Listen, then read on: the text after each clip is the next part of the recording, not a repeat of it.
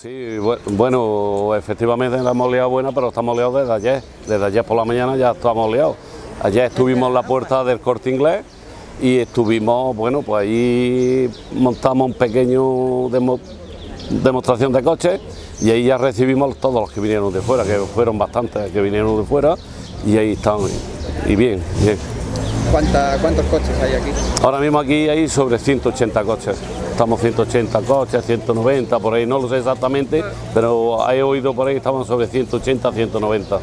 ¿Esta llegada de, media España, ¿no? sí, de media España, de, media España, no de toda España, porque viene desde Barcelona que tenemos, de la isla Formentera también tenemos un coche, eh, tenemos de Castellón, de Valencia, tenemos de Almería, de Málaga, de Córdoba, sí, de, Madrid, Ciudad Real, tenemos sí, de toda España, de Manzanares, de Cuenca, es decir que sí, mucha gente.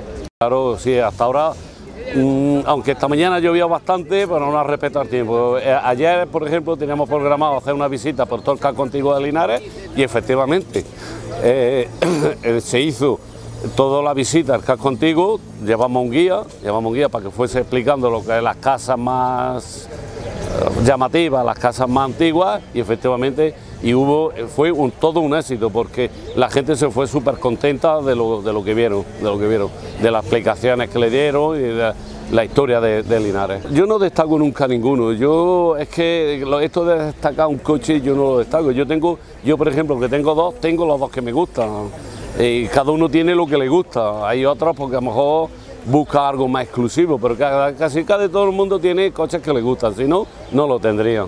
Creo yo que yo, yo no voy a destacar ninguno. Nosotros somos ahora mismo somos el Club, el Club 600 y Clásico de Linares, somos 28 socios, no más, somos, muy poquitos, pero bueno, somos muy bien avenidos y de verdad que funcionamos bastante bien.